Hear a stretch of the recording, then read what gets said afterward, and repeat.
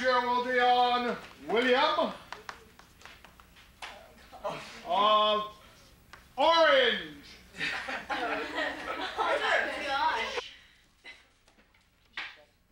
In the 17th century, William of Orange, what a really neat guy.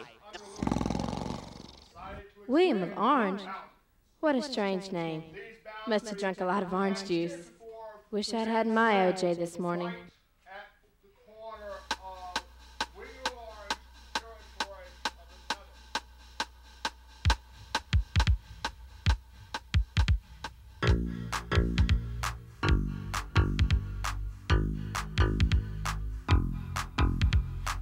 Is ticking loudly and I want to doze. The teacher's rhythmic talking makes my eyes